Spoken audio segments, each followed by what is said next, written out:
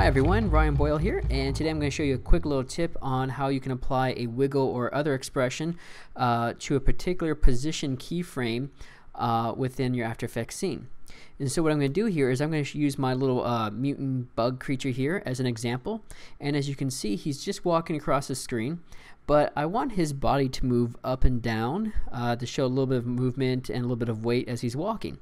Now, usually what you would do, let's say I want to do uh, this by means of, say, uh, expressions rather than doing manual keyframes. I can uh, hit P on my keyboard, which brings down my position uh, parameters, and I can select it and go up into animation add expression and I'm going to type in wiggle say 4 comma 16 there we go and now if I preview this you can see it applies the wiggle transformation to both the X and the Y uh, positions.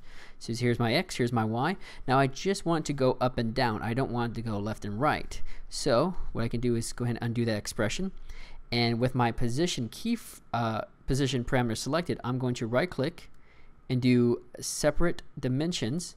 And now it splits the X and Y on their own dimensions. And I'm going to go ahead and do animation, uh, add expression. And now I can type my expression back in 4 comma 16. And let's go ahead and preview that. And there you go. So now the wiggle expression is just applied to just the y parameters where it's not being applied to the x. And that's it. Like I said, quick, simple tip. Uh, thank you for watching, and I hope you enjoyed this tutorial.